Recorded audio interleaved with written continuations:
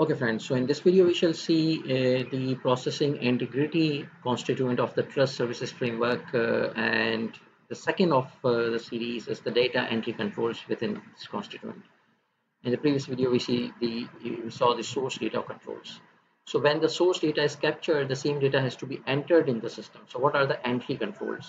So if this data is entered manually into the system, then some of the controls can be the field check uh, the field check works to see if the appropriate type of data uh, is there uh, while typing the data. So for example, if it is a CNIC number, uh, the alphabet should not be entered and the system will automatically uh, invalidate any entry of the alphabet. System will pop up some error that the alphabet should not be entered. Or if there is some other field which requires an alphabet, then maybe the digits or the special characters or the numeric digits should not be entered. So these are the field checked it can be sign checked in terms of the plus and the minus. So for example if the system is uh, uh, asking for debits and credits and the are tagged as a plus and minus then uh, this kind of type of uh, sign check can also work.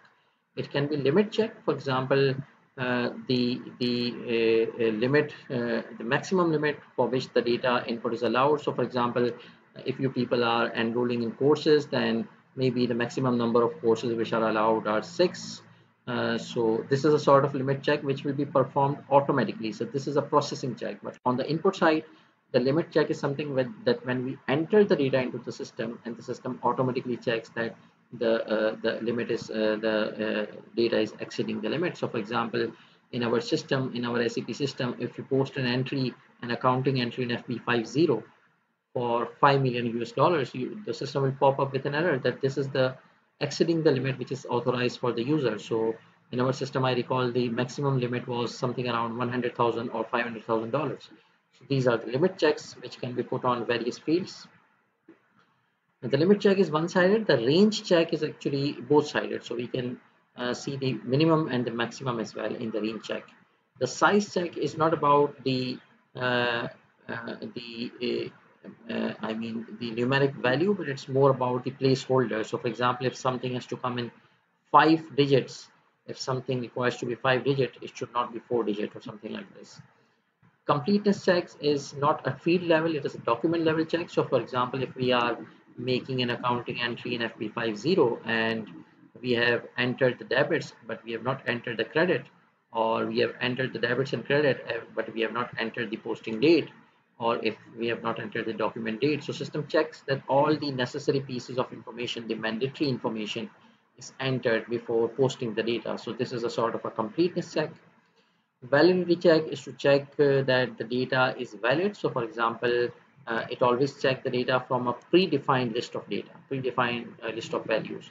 So for example, if you enter the date into the system, system, the system checks the date with the calendar. So the 30th February check uh, for example, if you enter the date is 30th February or maybe 31st April, the system will not accept the date because they are not valid dates within the context of the calendar that the system has. Similarly to valid check in the account number in the FB50, if you enter an account number which is not there in your chart of account, the system will pop up with an error. So these are the sort of validity checks. And reasonableness check, these are the intelligent test uh, checks which are not bound. These are the warnings. So for example, if you post an accounting entry this is the month of May you are posting an accounting entry of April. In the posting date is April and you're posting uh, in May the system might come up with a warning that are you sure you want to post in the previous month which is not the current month? Similarly reasonable checks may be put on some amounts as well. Uh, sometimes the invoice number if it repeats the system pops up with error that this error, this invoice has already been posted. Are you sure or invoice amount this invoice amount is already posted are you sure so something like this. These are the reasonable tests. These are usually the warnings not exactly the the errors uh, which pop up.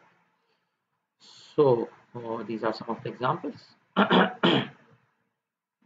They can be put on the batch processing and for the real-time processing and uh, some of the slides have been removed from this presentation. You can see that uh, we are concerned with only uh, this is the 43rd slide of 138 from the original system but uh, within the data we have it is the 43rd of 63 so many slides have been removed from this uh, uh, this presentation in order to make it easy for you people so this ends the uh, data entry controls so in the next video we shall see the processing controls uh, further. Thank you.